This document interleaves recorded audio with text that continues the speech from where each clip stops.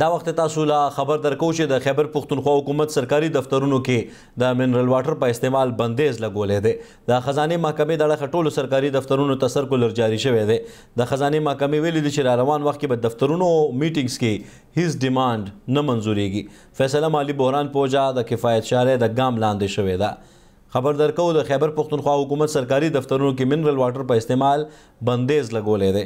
د خزانې محکمې د اړخه ټولو سرکاري دفترونو ته سرکولر جاري شوی دی.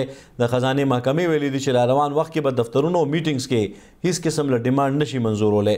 فیصله د مالي بحران په وجه د کفایت شعره ګام لاندې شوې ده. خبر درکوو، خیبر پښتونخوا حکومت سرکاري دفترونو کې منرل واټر په استعمال بندیز لګولی دی.